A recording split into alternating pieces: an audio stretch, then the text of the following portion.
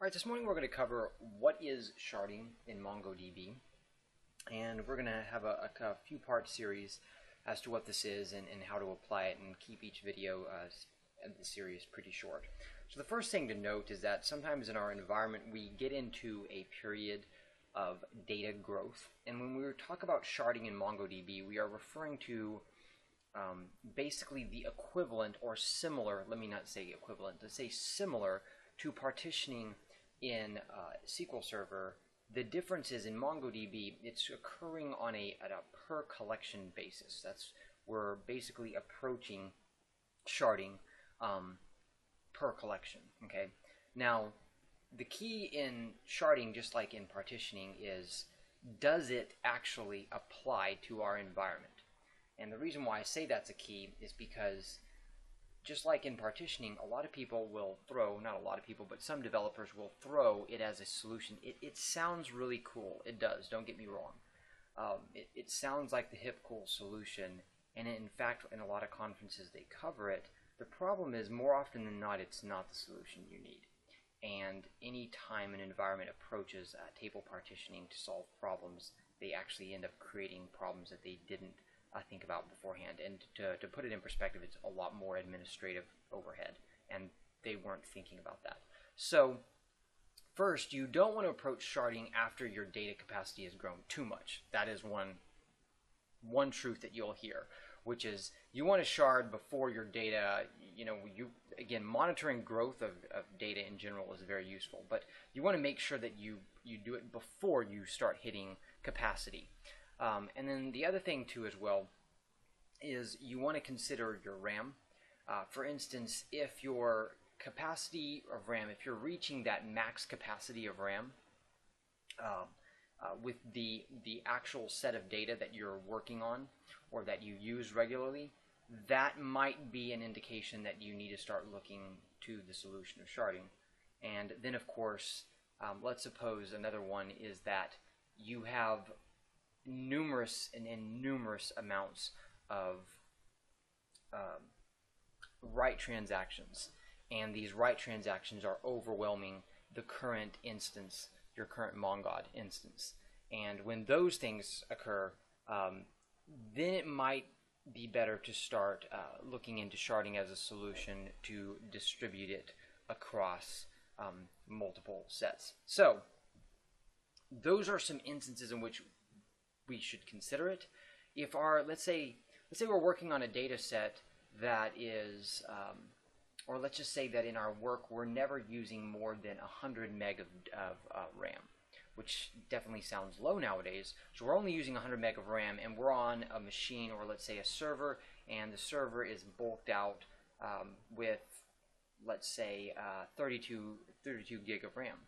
Well, our data set that we're working on, we're dealing with 100 meg. We just we're not hitting capacity there. It's not it's not a good way to, to sit there. It's not a, it would not be a wise thing to use sharding whatsoever. Okay. 100 metadata, that's our that's our active working. That's what we're working on. That's a data set we're kind of playing around with. Why would we use sharding in that case? Okay. Suppose that we were on a server with 8 gig of memory, which is definitely not a server built for databases. But anyway, when I see a server like that, I'm like, I don't understand why they're doing database technology there. But let's suppose that we are, and our active working set, the, the type of data that we're working on, we're looking at maybe, uh, we're approaching 7 gig of data. So when we start Mongo, we, we have a huge, or Mongo, I'm sorry, we have a huge problem because we're, we're hitting that capacity.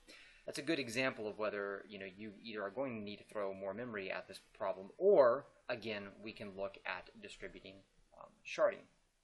I'll look at sharding as a solution, I'm sorry. So let's just visualize what is sharding, okay?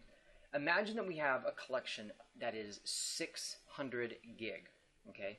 And what we want to do on one machine, so this is our one machine, let's say is 8 um, gig of memory, and our active working set, or our, our active data that we're working on, and all the work we're doing is approaching 7 gig usage of memory.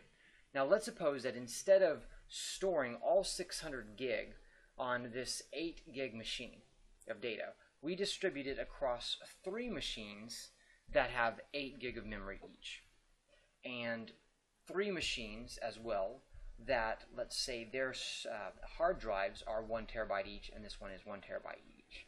Now, um, in this case, because we're at 600 gig, it really depends on the data growth. But the, the reason why we're looking at sharding here in this situation only is because in this situation only, not only is our data growth now 60% of our max capacity, as far as we have 600 gig, we have one terabyte available, right? What happens here is we have now 20% on this machine, 20% and 20%, right? So it's really just 20% across the board. For those of you who know math, you know, you can distribute those properties. So it's 20% across the board we've dropped, and then our memory that's actually being used, we have 8 gig, 8 gig, and 8 gig versus just 8 gig up here. So wherever the operations are going, whether it's read operations, the read operations may be happening on this machine. We might have write operations on this machine, maybe even read across, but you'll notice it's going to be distributed across these three machines versus just smacking into this one machine. So there are, again, you can you can think about it like, well, there's a cost benefit there, right? So what would be the cost of just bulking up this one machine versus what's going to be the cost of distributing across multiple machines. And again, the reason is because things like sharding and partitioning, there, there will be some administrative overhead that people sometimes fail to calculate going into it. And so as we cover these videos, the reason is developers often throw this out as a solution. They're not thinking like an administrator. An administrator is not just thinking about, okay, here's a possible solution, but okay, how do we manage and maintain that solution.